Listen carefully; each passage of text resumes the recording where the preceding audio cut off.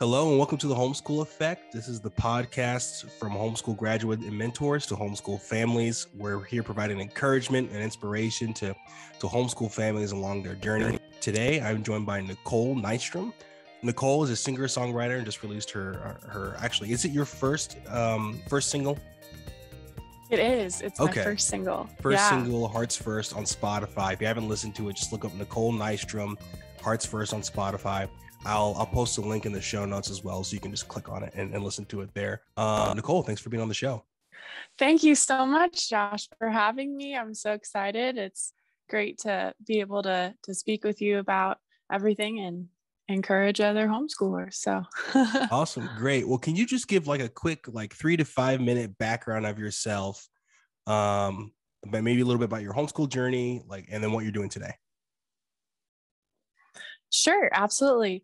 Um, yeah, I I went to uh, like a year or two of private Christian school, and my parents, um, you know, in the same small town, and uh, you know, born and raised there in Woodstock, Illinois, and uh, my mom had a bunch of other women that were encouraging her um, that they had started to homeschool their kids and that it was a really you know um, a great transition and and just journey for them. And they felt like uh, they could really uh, raise their families you know in a, in a different way in a, in a whole nother level.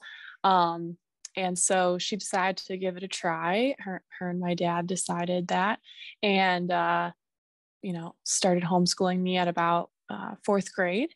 And that was definitely interesting like being pulled out of school um, but I was excited to do it. I was excited to try it.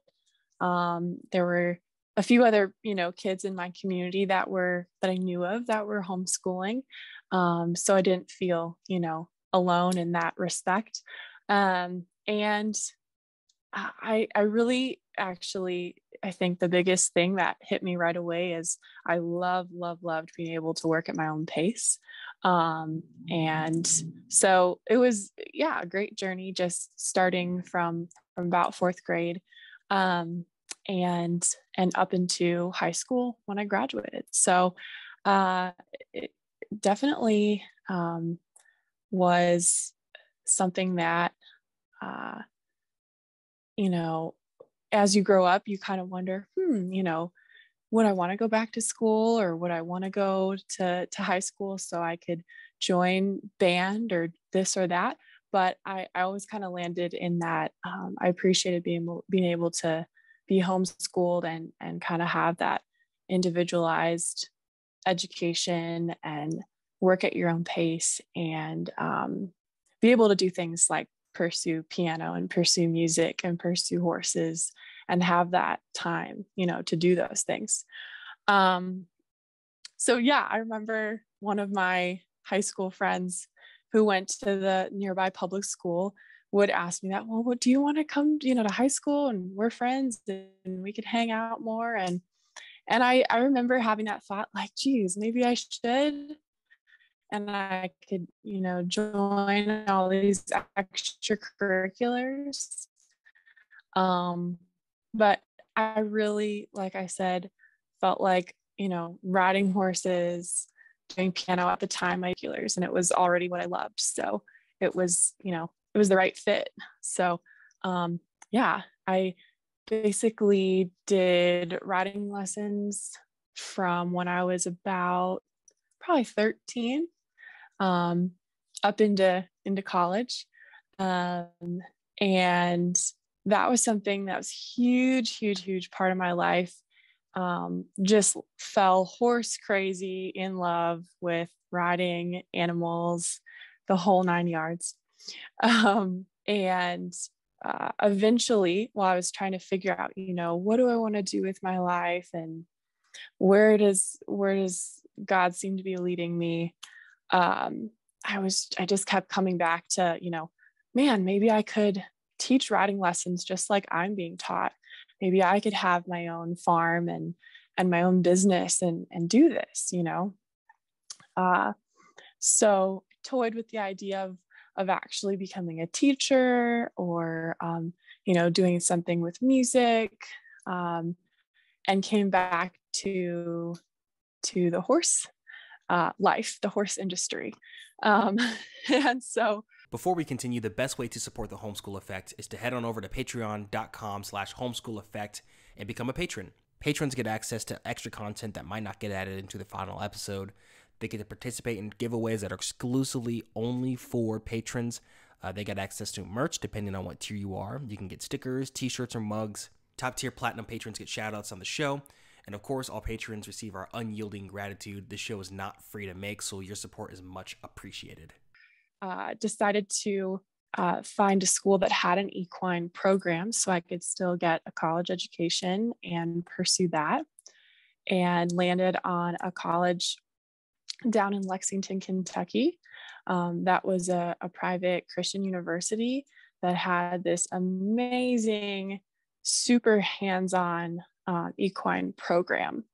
Uh, so that was Asbury University um, and enrolled, uh, transferred, transferred over, had done community college for a year and and transferred uh, down to Kentucky um, and tried to do both. So music and horses have always been like just head to head in my life um, which can be difficult to to give enough time to each. Um, so I did actually pursue um, a music, a vocal performance minor, as well as an equine science and management major, um, which was quite a bit of work, uh, to say the least. But uh, yeah, so I, I, did that. I went through college, got a degree, um, and uh, just went headfirst into the equine industry. Uh, got a job out in California right away um, after I graduated and worked for an amazing uh, ministry um, on Palomar Mountain, which is in Southern California, and worked as the assistant to the director of the Girls Horse Camp program. So we did a lot of discipleship and horsemanship and you name it for those girls. Um, I'm trying to make this short, sorry.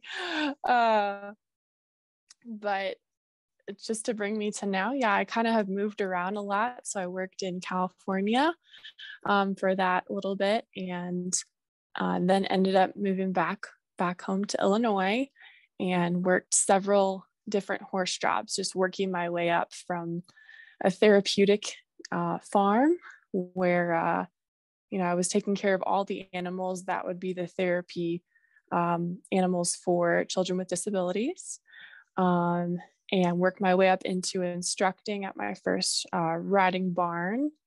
Um, and then even opened my own small business where I was teaching students um, on my own and and had a partnership at another facility where I could basically run my own program, which was really cool.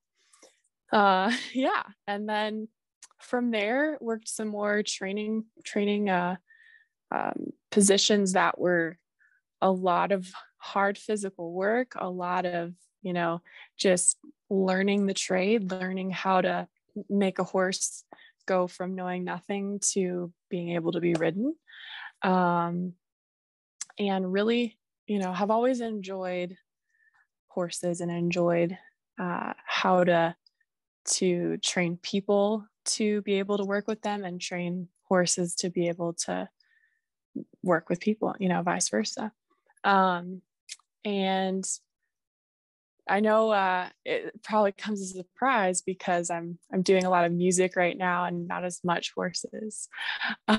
Um, but it's definitely um, something that is very um, it's hard work and and i love that. It doesn't bother me at all that it's such a hard work in that industry um, but it was definitely difficult to live off of you know to be able to support yourself um, as well as as work in the horse industry.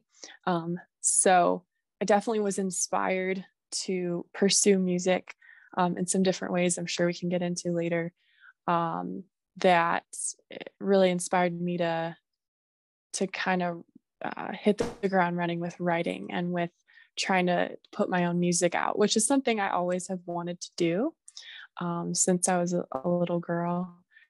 And and trying to keep horses in my life as well.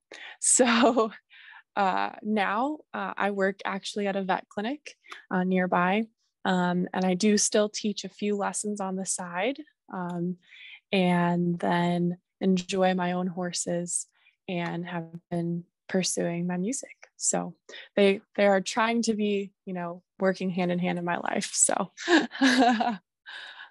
awesome, all about that balance. Well, thanks for that. Thanks for that intro. Um, exactly. Um, but let's talk about Hearts First. Um, yeah, you know, absolutely. What inspired you to to write the song, and what what does it mean to you?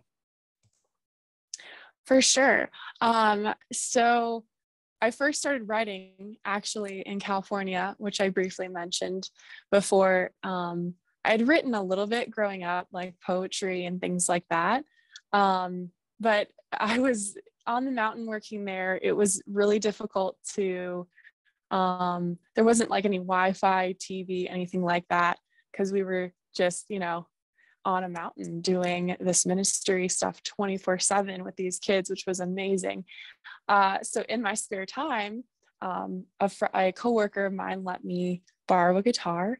Um, and all summer long, I would practice chords and, and write songs whenever I had um, a moment to do so. So that kind of started the push of of writing, um, and she was so encouraging just to to keep writing no matter what you know even if it doesn't seem like the best song or the best lyric to just keep doing it um, and so um, after that uh, a little bit of time passed and I was back here in Illinois. And I actually got into a songwriting conference in Nashville. Um, so there was 30 other artists allowed to to come in and, and write and just learned a lot about, you know, what your strengths and weaknesses are as as a writer. Um, so uh, that really helped to hone the skill. So I'd been just writing, writing, writing after that conference and trying to use everything I learned. Um, I had moved back to Kentucky for a little while where, where I was going to school to be closer to Nashville and pursue some music there. Um, and then ended up back in Illinois. So a lot of moving over the last few years, um, but just trying to follow the Lord's leading. And so in that time, um, I definitely felt weird coming back to Illinois where I'd grown up and, you know, at this age in your mid 20s, everyone's kind of gotten married, had babies, moved to other states. So there's not a whole lot of that core group left to connect with. Um, and so I would say, uh, in that search for, you know, trying to find, you know, where the Lord's leading you and trying to find someone to settle down with eventually, I succumbed to the dating app world. and um, I'd been on one of the dating apps for a little bit and just going on a few dates and, and meeting some new people. And, um, you know, a few of those had gone by and, you know, not nothing really hit it off. Some of them are actually my friends still to this day. and uh, just kind of what's inspired uh, while writing and playing guitar at one point throughout that time because uh, it's very much a different world with all the social media. Everything is right there in front of us at our fingertips. And then now we have not just dating websites, but these apps that are just right there. And it's, you know, it's a crazy different world to meet someone. Um, so when I was writing this song, kind of just came to me um, and I'll pull up the words to kind of reference here too. Awesome. Um, yeah. So the beginning, you know, call me crazy baby, but I think that maybe um, we could hit it off. If I could tell you, honey, I would say I could save you from the moment that our love might stop. So that whole thing is just saying, you know, you're you're trying to put yourself out there, right? You're trying to figure out um, if you can just be honest and open with people and put yourself out there to find someone Um, and it's hard in this generation and this culture right now uh, to do that uh, because people are all about instant gratification and just wanting it to either work right now or not, you know? Um, and so I think those words definitely touch on, um, you know, if I could tell you if it's going to work out, I would, but I can't. I can't see the future. Um, I can only live in in this moment now. Um, and then the pre chorus, which I actually get asked about the most when people ask me about words in a song, um, says, um, I ain't a mind reader, baby, but I can't see what you see in me. I ain't a tattoo artist, darling, but I could draw, I can't draw the size of your heart in. So um, basically, saying just a creative, artistic way, you know, a metaphor that, you know, again, I can't read your mind. I don't know how you feel about me. I don't know what the future is going to hold um, or, or how you view me. Um, and then uh, also that, you know, I really like to write music that is um, going to be relatable, something that um, people uh, currently are, are going to feel and go, wow, I really, that hits home with me. Um, so the tattoo artist thing again is just an artistic way to outline you know people in in this day and age in our age group they love to express themselves in that way. They love of it right? And for people to see that about them right off the bat. So i think that's something i was trying to paint there too is that you know um, if I were a tattoo artist, I can't draw in the size of your heart. You know, I don't know how much you love or how big your heart is. I like to to think about the Grinch um, and how he had such a shriveled heart, and once he found out how to love, his heart grew in size. So similar to that, you know, aspect. The chorus, um, we don't know how to love blindly, so we sabotage the what could be we're so used to being used too much, all our love becomes is a crutch. We don't know, or we don't need to dive in head first. Baby, all we got to do is put our hearts first.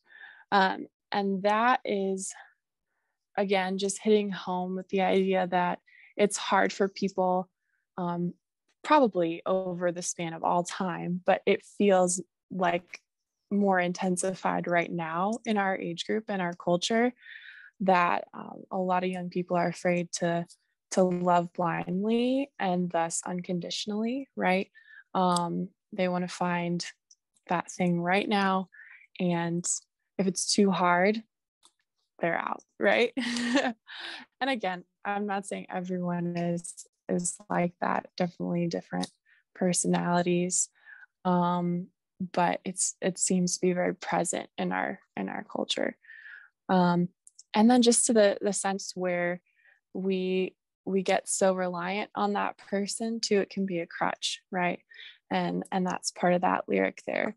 And then we hit home with the hook which is just um we don't need to dive in head first baby all we got to do is put our hearts first.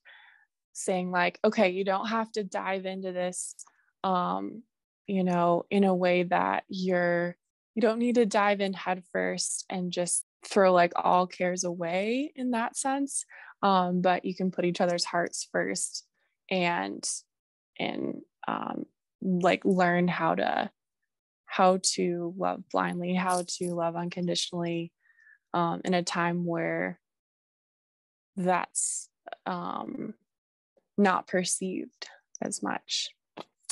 Um, yeah and then i think i try to bring it home in the end um, the last couple verses that um, let's just take our time. Maybe our hearts will rhyme and we can make it through. You know it's just that that full circle resolution of um, let's just take our time see if it works and and maybe it will work out you know maybe it will and and we can grow through that situation. So awesome. hearts first. Yeah.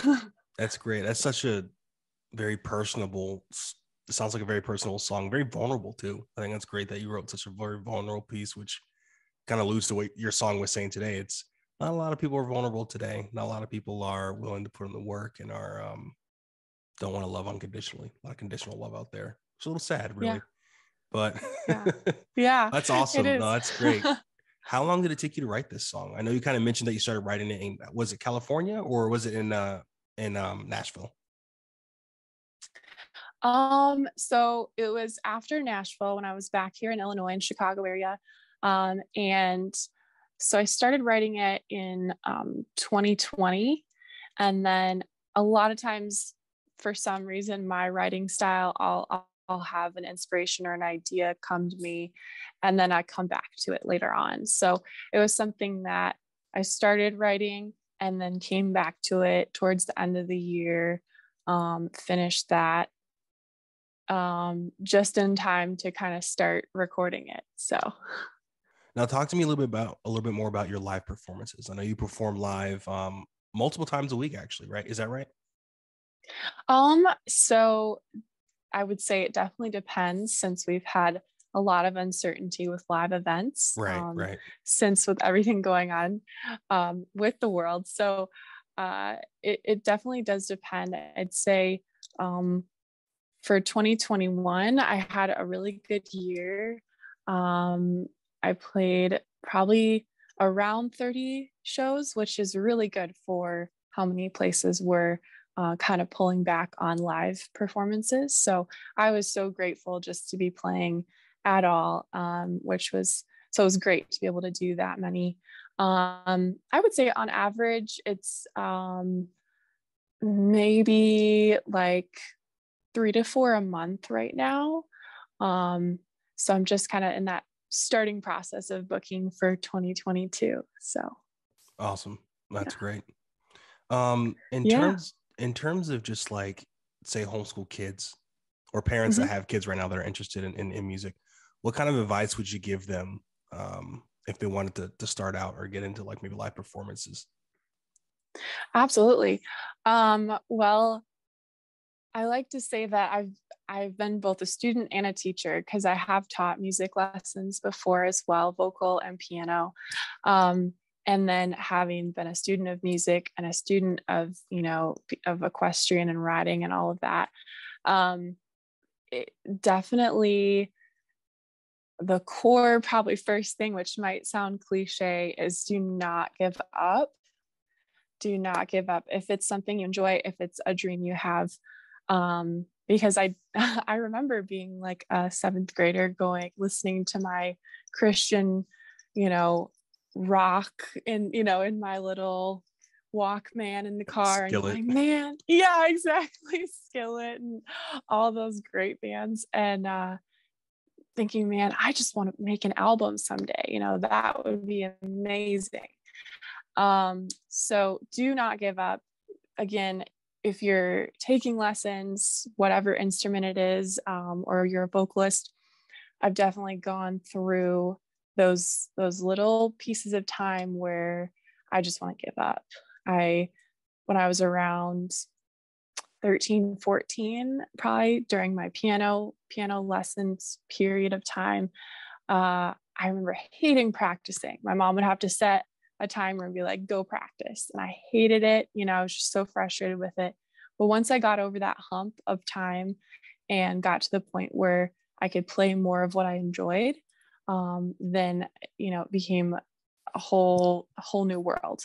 Um, same for, for vocalists. I had amazing vocal instructors in junior high and high school that were so inspiring, helped me get ready for college and once I got into college, I had vocal, you know, performance major inst- uh, instruction, uh, excuse me, instructors who were really pushing me hard and pushing me in directions I did not want to go at all. But I'm so grateful for that time because it expanded my vocal range and helped me to really hone skills I didn't have before. Um, and I would say also to surround yourself by either mentors or um, instructors or just other musicians that can you know be an encouragement to you Um, and if you don't have that, you know, don't don't stray away from what you like. You know, if you want to sing jazz music when you grow up, or you want to play ukulele, but no one else around you does it, you know, keep going for it because um, that'll make you unique. Um, also, I would say, you know, find out how you learn. And if you have, you know, something you're struggling with, find a different way to learn it, you know, find a different instructor or a different way to learn it. Or like with guitar, I'm self taught. You know, I didn't really have an instructor. I just picked a song that I loved. I drilled it over and over and over until I was comfortable with it. So just picking, you know, picking things that are going to make you enjoy it is huge. Um, I'd say one last thing would be uh, don't think that it's all roses because it's a lot of work. It is a lot of work for me even to produce uh, and and release this single. You know, you have every step of the way when you're not when you're an independent artist, you're not with a label, you have to do each and every step of the process you know you're writing it you're arranging it you're recording it you're doing your copyright your licensing you're distributing your pro you're doing everything so uh, for me i've loved every single piece of that journey it was so exciting um, but don't give up and and know that it's going to be some work um, but you'll get there yeah awesome Thanks for that. That's, that's good advice. if if the audience wanted to support you on your on your journey, what what are ways that they could support you? And what ways can they support you? Yeah, thank you for asking that. Um, definitely listening to my song. Every stream helps. I'm actually on all major streaming platforms. So I'm on Apple Music, um, iTunes for 99 cents if you want to purchase the song um, Amazon Music, Pandora, iHeartRadio, uh, Spotify, like Josh mentioned, YouTube Music. It's out everywhere. So, listening to my music, um, you can go on to my Instagram, which is Nicole N Music if you are in the Illinois area. Um, I do sometimes play in uh, Lexington, Kentucky as well. Um, you can look out for shows uh, as well as I do have some merch that I'm starting to put out on the internet um, that'll be for sale. So, yeah. Awesome. Great. Well, thanks, Nicole. Thank you so much for being on the show. I appreciate it. Thank you so much for having me. It's it's a blast. it's great to to talk with you. We hope you enjoyed today's episode. Be sure to follow us on Instagram, TikTok, and Facebook, and head on over to our website to subscribe to our newsletter. That's homeschooleffectpodcast.com. Again, that's homeschooleffectpodcast.com. We'll see you next time.